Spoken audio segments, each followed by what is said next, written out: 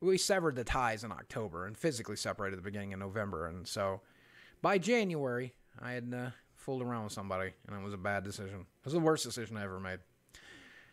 I, I'll just be entirely honest with you. I was the worst decision I ever made. I I regret that more than I regret marrying my ex-wife because actually I don't really regret marrying my ex-wife. It was kind of a smart thing to do. She was a wonderful woman.